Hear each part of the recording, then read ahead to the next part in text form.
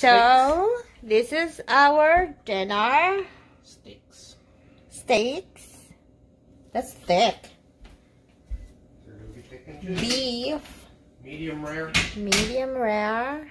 or So, rare. my husband, Evan, he uh, let it let it uh, sit in the fridge with this um s- yeah nice smelling spice mix. This spice, it smells so good. It's his secret, he said. Spices, and um, he just put butter on top. So this um steak has been uh, in the fridge for a bit and he's prepping cast iron with some pepper here and butter and the oven is at 425 I'm pretty sure it that's for the chips and I believe these chips are Cavendish from PEI Canada There they are. So you're preheating for the the chips? Hmm? Preheating the oven for the chips? Yeah. And um, this lovely, gorgeous steak will be in the grill, in the barbecue. And then uh, we'll have California blend vegetables. And we'll have vegetables.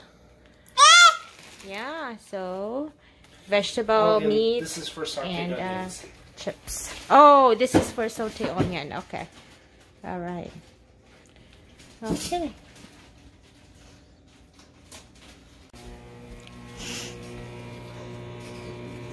Scarlet and onion? That's it?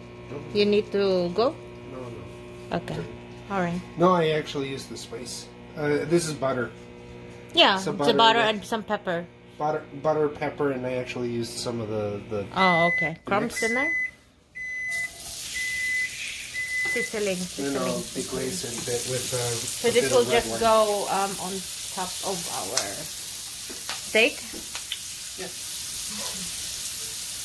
Yeah, that should be. Just red wine. Yeah.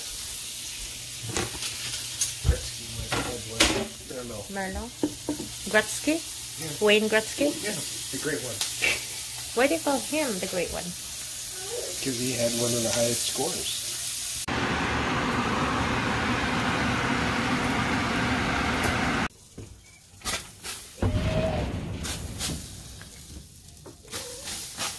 Flamed up at the bottom. I didn't clean the Because- tray. Need to clean the tray.